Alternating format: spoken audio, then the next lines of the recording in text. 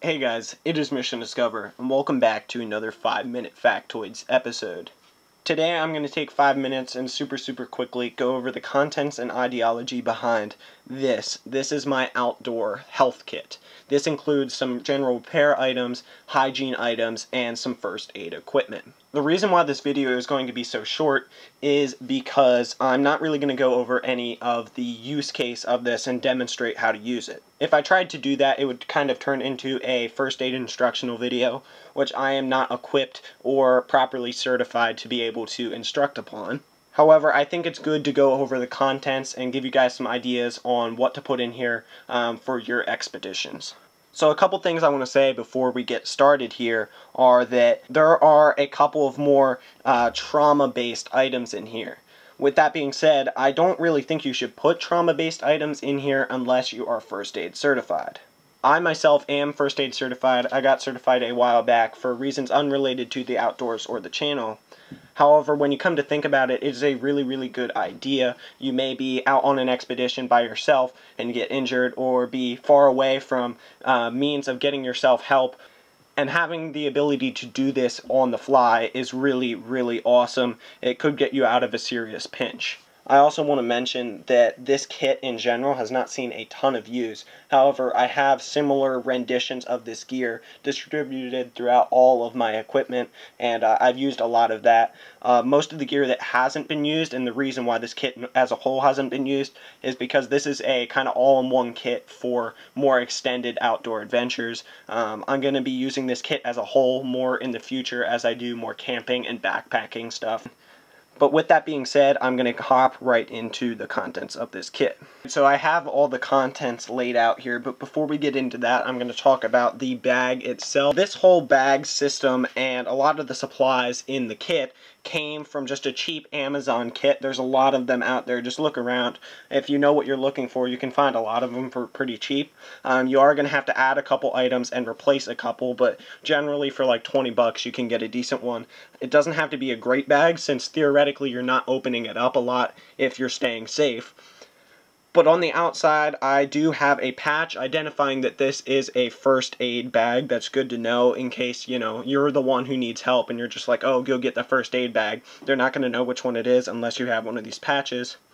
And then on the outside, I have a paracord attached to one of these trauma shears. Trauma shears, they don't have to be great. They kind of just go through material, whether that be flash or clothing, and get the scene opened up so people can see it really, really fast and then I have some safety pins on the outside as well for just general repair tasks. Getting into the actual kit, I'm going to start with some of the more general stuff. This bag here is generally a whole bunch of different shapes and sizes of bandages.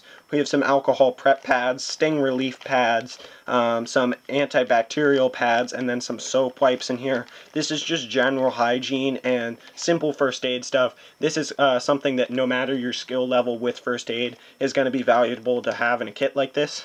Below that we have a mask. This is for something like uh, dust. If you uh, have an allergy to pollen or something along those lines, uh, it can be really problematic and having something like this could help if you have it with you. We have two bandages um, of two different sizes. I have a triangle bandage in here as well. You can use this to make a sling, um, wrap other stuff. This is a very versatile piece of first aid equipment if you know how to use it. Some just general like rubber glove type things to keep your hands sanitary if you need to um, get in there and bandage someone up and they're bleeding a good bit or even if you need to do a more serious type operation. I have some general meds in here, an ace bandage, um, a reusable bandage. It's better than the other ones for certain things because you can just roll it back up and it's a little bit more durable some Q-tips, a million uses for those, um, applying certain liquids, uh, getting stuff clean, that sort of thing.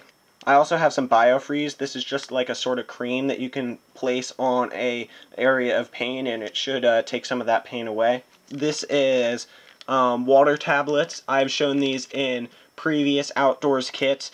It is just a backup way to purify some water and uh, it kills viruses, that sort of thing, and just make water safe to drink. I thought this would be a good place to put it just as a backup to have extra redundancies of something this important. As I mentioned, this is also a sort of hygiene kit. Um, I have some toilet paper if you're out there and you need to go. And then more on the trauma side of things, I have one of these space blankets. If someone goes into shock, this is really good to keep them warm. This is something I'm going to replace. This is a super, super simple tourniquet. Um, it's very, very basic and doesn't work super well. I could make it work in a pinch since I know how to use it. However, I am going to get some upgraded tourniquets and put them in select locations throughout my equipment. Also have a CPR mask some tweezers. I'm probably going to get some better ones of these. These are fairly nice though since they are plastic and they're not really going to mar anything up. I may keep these and then just add an additional set that are more precise as well.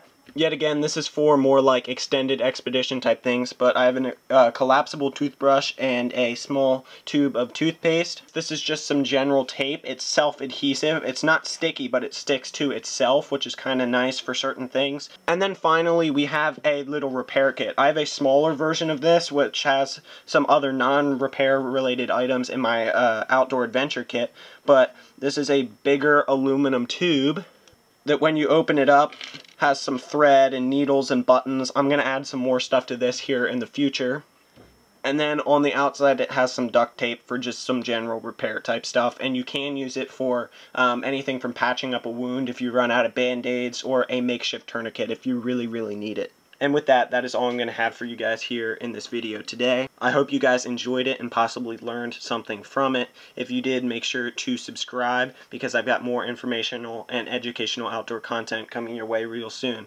With all that being said, God bless, and I'll see you next time.